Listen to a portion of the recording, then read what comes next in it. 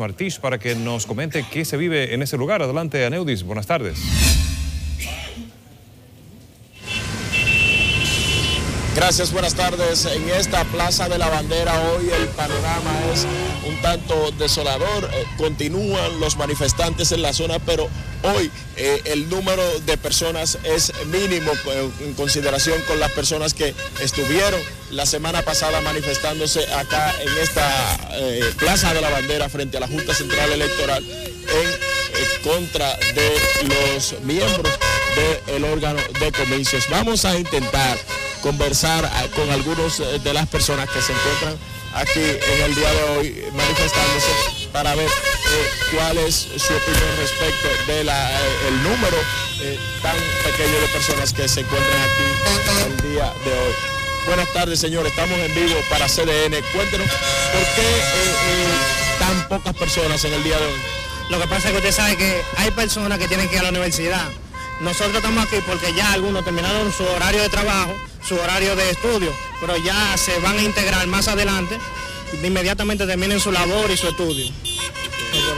Además, más tarde tiene esperanza de que más tarde se, llegue más Además de que también el temporal de agua que se ve que viene puede ser que algunos se queden rezagados, pero como quiera, estamos aquí. Muchas gracias. Vamos a seguir por acá a ver si eh, con alguna otra persona de las que están aquí. Pero se tapa Vamos a ver si conversamos con una otra persona aquí. Buenas tardes, señora. Estamos en vivo para CDN.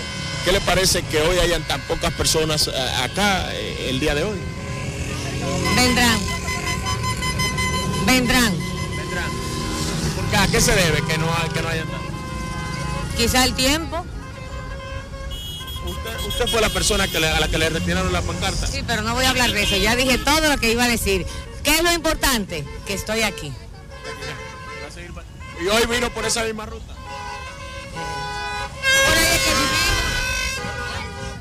en carro. Ustedes acaban de escuchar, esta es la persona a la que en el día de ayer le fue retirada una pancarta a la fuerza por parte de agentes del eh, cuerpo de seguridad eh, presidencial. Ella dice que hoy sí hizo la ruta, pero eh, vino en su carro.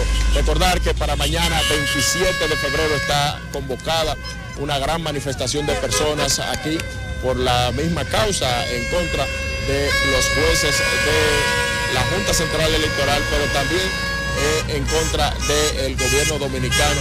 Es la manifestación que se eh, está desarrollando aquí y que inició en contra, en favor de la democracia y ya hoy hay muchas personas que también eh, reclaman en contra del gobierno. Esta es la información que yo tengo por el momento. Ahora retorno contigo al Centro Noticias.